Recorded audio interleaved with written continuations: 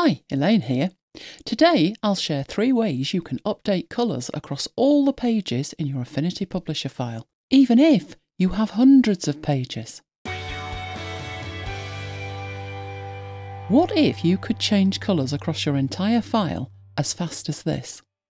The good news is you can. The better news is you can still do it even if you didn't plan ahead. This video contains four sections. In part one, we'll look at global colours. Part two, we'll look at master pages.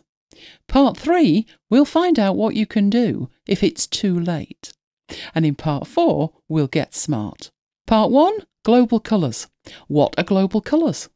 Global colours are created in document palettes, and if you want to change a colour across your design at a later time, all you need to do is edit the global colour in the swatches panel and all the objects update with the new colour both automatically and simultaneously. What does that look like? Well, here's a design for a planner. It's already hooked up to a data source. If you need to know more about data merge, I have a whole range of videos listed in the description to help you. This file only has a single page.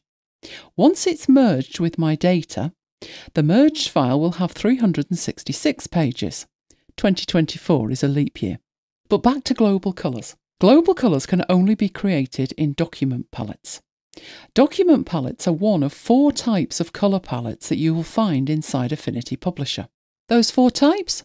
Document palettes, application palettes, and if you're on a Mac, system palettes.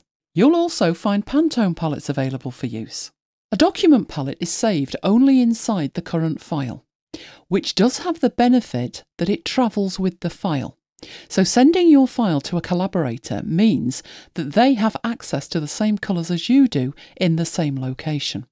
That is not the case with application and system palettes.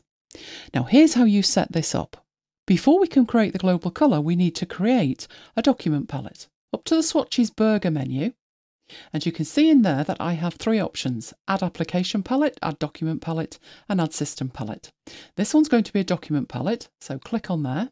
You're prompted for a name. I tend to call my first document palette Document. Seems logical to me. Once I've done that, it loads in the document palette, but it has no colours in it whatsoever. So what I'm going to do in there is add a global colour. There's a few ways to add a global colour. I'll go back to the burger menu and choose the top option, which is Add Global Colour. That will give me this dialog box where I can both name it and specify the actual colour. So this is going to be for the background. I'll name it background and then I need to either type it in or go and select the colour from somewhere. I happen to know the hex code for this and it is FFAE71 which doesn't come through automatically until you exit that text box. At which point that is my background colour. Then all I need to do is add it to the palette and it appears up in the swatches. The second one I need to add, so I'm going to repeat that process, add global colour, is for the day header. And while these colours look similar, they are actually fractionally different, and there is a reason for that, which we will discover as we move through the demo. So that is FF9251 Move out of the text box and click add and I now have my two global colours. Now the day header is the text at the top, so select the object and then click the global colour. The background is this shape at the very bottom of the layer stack. And that is my background. Next thing I need to do is to merge the file. My file is already hooked up to data I've made sure I'm looking at the right sheet for the data and all I need to do is generate it. It will take a few seconds, there are 366 pages, and let's close that. And there is my file. I'm going to move back to the very top and let's change those global colours. So right click on the colour and you have an option to edit fill. In here, let's make it a lurid pink. Maybe not too lurid. And not only has it changed on this page, but looking across in the Pages panel, you can see all of the pages have changed. Next thing to do is to change the global colour on the day header. So back into the swatches panel, click on Edit Fill. Oh, and I think we'll make this one really pink. And again, it's not just changed on this page, it has changed on every page.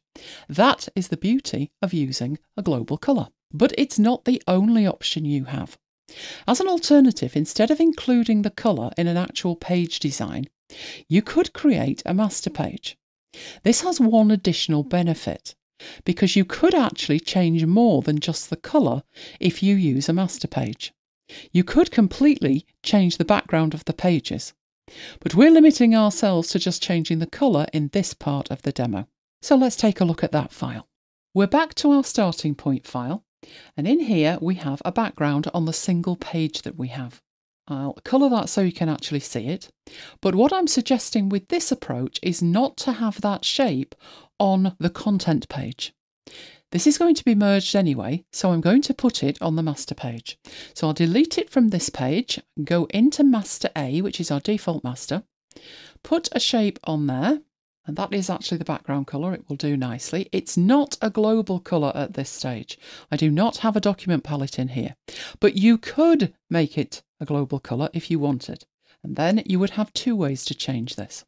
But having it on the master page means that when I run the data merge, and I'm going to update my data source before I do that, but when I generate that file, which again will take a couple of seconds, and you can see we have the, the orange background on all of the pages.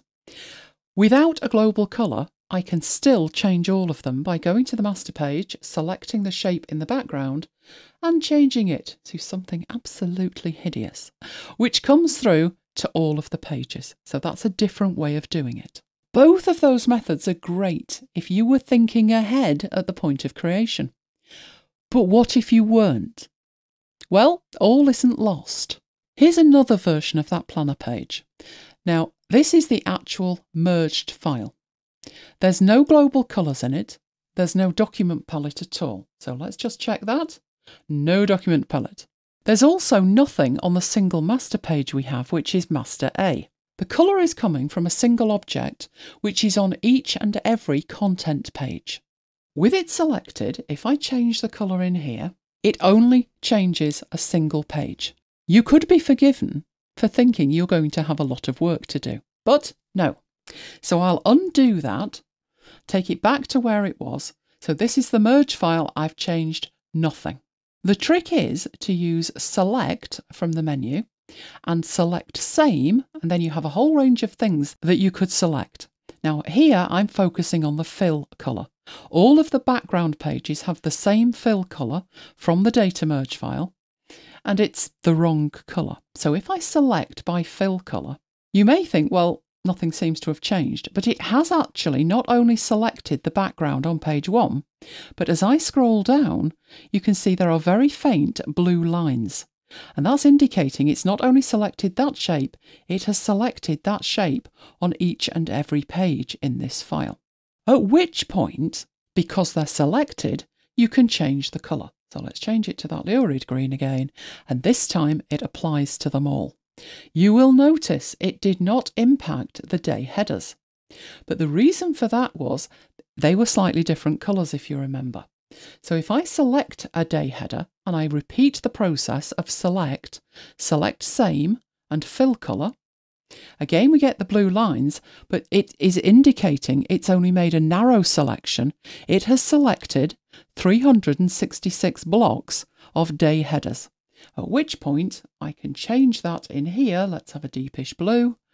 And as we look through these pages now, you can see they are all changed. Select Select Same is a way to achieve exactly the same as global colours or master pages, but in files where you didn't do that from the start. Which is clever enough. But, oh, bonus time! There are two ways of working even smarter. The first way does involve global colours and the second master pages. But remember what we're doing here. We're doing this in a file that didn't have a global colour specified at the beginning, nor did it have any content on the master page. Let's concentrate on the global colour aspect. This is a second copy of the file we've just worked on, but I've taken it back to the beginning. In essence, I'm doing the same as previously. I've selected the object, I'm going to select, down to select same, and then choose fill colour.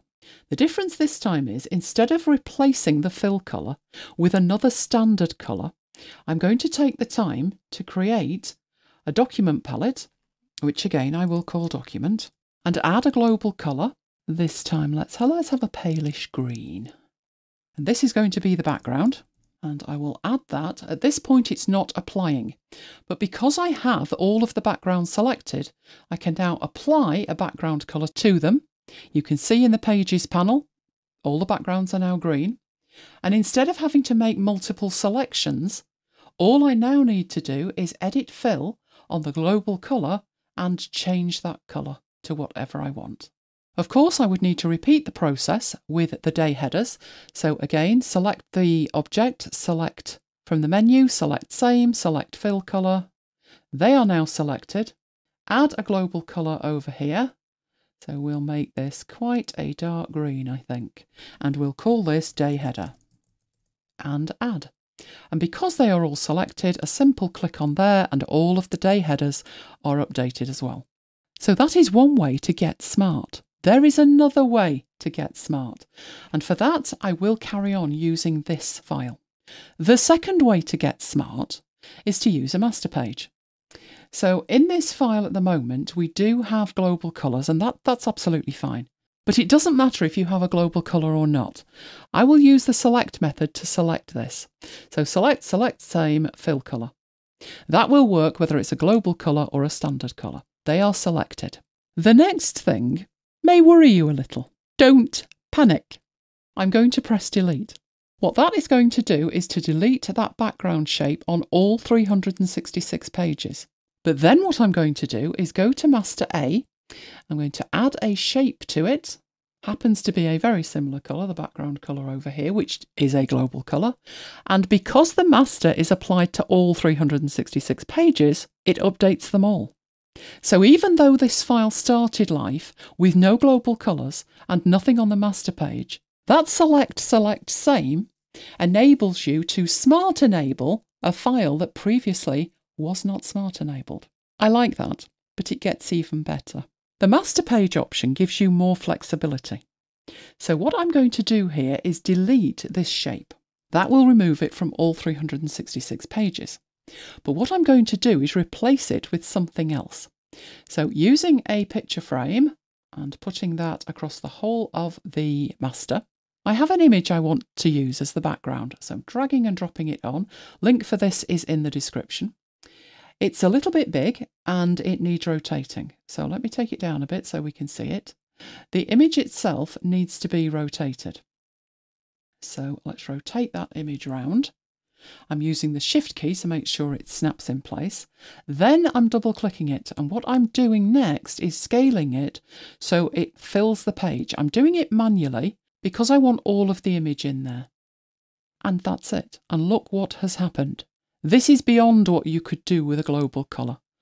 Using the master page, you can completely change the background and it doesn't have to be just a single colour. It could be an image. So let's have a recap.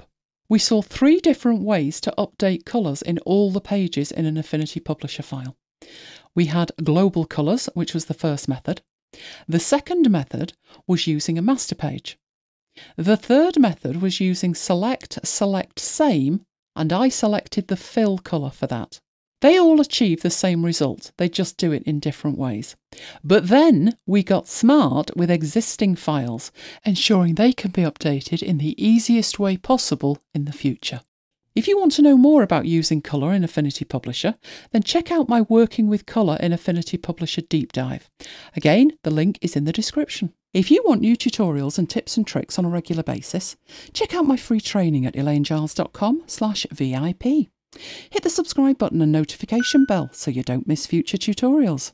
And if you have any requests for specific tutorials, be sure to contact me. I would love to hear from you. Thanks for watching and see you next time.